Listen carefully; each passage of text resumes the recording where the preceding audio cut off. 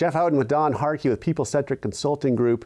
Don, I imagine there are companies out there, people at these companies that say, I'd love to work with you guys, but I'm not sure how I do it. What are the first steps? the first steps is to know that we're not going to bill you just because you call us. We're not billing by yeah. the hour.